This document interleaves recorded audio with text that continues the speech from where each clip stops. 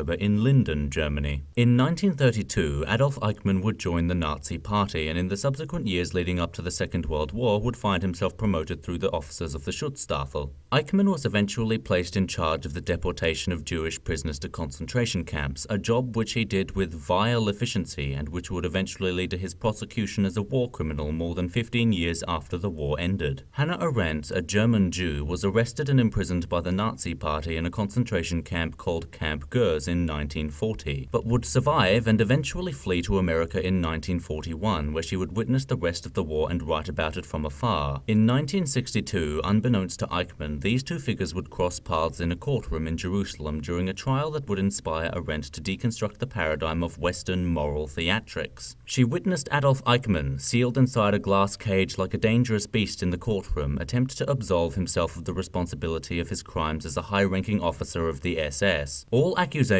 put forth to him were true. He willingly and knowingly performed the task of organizing millions of Jewish prisoners to be transported to concentration camps. And yet he claimed himself to be a Zionist. He said he initially resisted the extermination of the Jews. When he was taken to a concentration camp and showed what his work was enabling, he felt sick to his stomach, and his job was never to directly kill or harm anyone, and that he merely did as he was told by his department. All of these claims are also true, but nevertheless there were no defense to his crimes, especially crimes of such magnitude. Hannah Arendt returned to America and wrote a series of highly controversial and frequently misinterpreted articles published in the New Yorker later in the year in which she said that Adolf Eichmann was not the monster that the world was claiming him to be. She did this not to devalue the evils that the man committed, but to draw attention to the fallacy and the assumption that the evildoer is an inhuman other, separate from good, ordinary people. Eichmann possessed no hatred, no malice, not even a motive based on some twisted satanic logic. What Eichmann had was a startling willingness to conform, a desire to obey, and an inability to think. Arendt argued that without Eichmann and people like him who simply followed the directive set forth by the Nazi leaders, the Nazi Party, and by extension the atrocities that were committed in the Second World War, simply would never have reached the scale of impact that they did. Eichmann in Jerusalem, a report on the banality of evil by Hannah Arendt is an incredible detailing of her recount of Eichmann's career as a member of the SS, the accusations and witness accounts put forth at the trials, and, most crucially, the examination of Eichmann's character as an utterly ordinary man who contributed vital work to one of history's worst mass murders. Hannah Arendt shows that the pervasive and prominent paradigm of how we perceive ethics in the Western world is utterly limiting and filled with blind spots. Not every evil deed is committed by a monster, and in trying to paint the Eichmanns of the world as monsters, we forego our ability to examine the morality of ourselves, the people we give power to, and the systems that we become compliant in. The narratives of Western mythology paint good and evil as gigantic spectacles. The greatest goods of the world are those that everyone can celebrate, that have monuments dedicated to them, books and songs written about them. They are extraordinary good things, great things, grand things. They are performed by gods, angels, messiahs, and champions. And, similarly, the greatest evils of the world are those that are the most violent, most bloody, things that everyone can point to in scorn. They are performed by devils, demons, monsters, mad, violent people. Or so the narrative goes. When the name Adolf Eichmann entered the news after his recapture and subsequent trial in 1962, the overwhelming majority of people called him a madman and a monster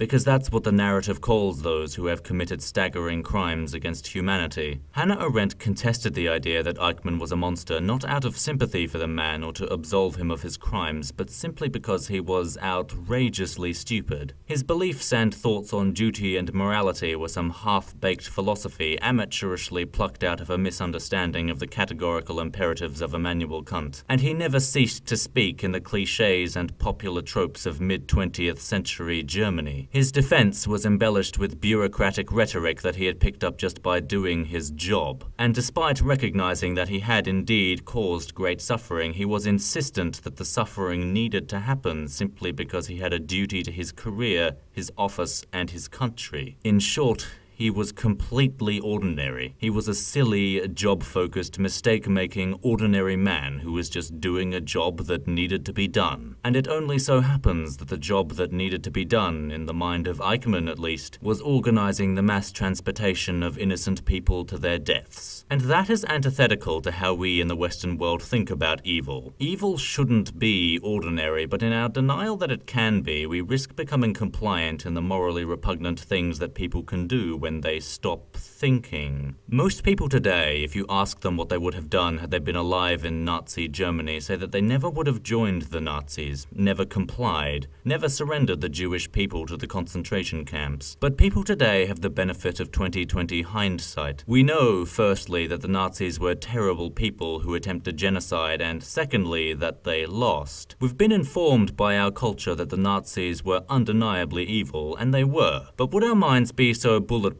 against the Nazis if our culture did not so fervently remind us that they were evil? The question is not posed with the intention of absolving the Nazis of their image as callous mass murderers. By all rights, they deserve to be seen as an undeniable evil. But the question is important to consider because in Germany in the 1930s and 40s, the Nazis didn't have that reputation because the reputation follows the act. At the time, the danger of compliance in Germany existed and was prevalent. So how do we know today that we are not compliant in the evils of the world if we don't stop to think about it? Any one of us could find ourselves in a job or position of power that irrevocably damages the lives and livelihoods of human beings and simply fail to think long enough to consider that we shouldn't be doing it. Hannah Arendt's book is a philosophically marvelous detailing of the morally reprehensible consequences that can accompany compliance. And if you have ever thought seriously about ethics or history and haven't sought this book out yet, then you will find it a fascinating read.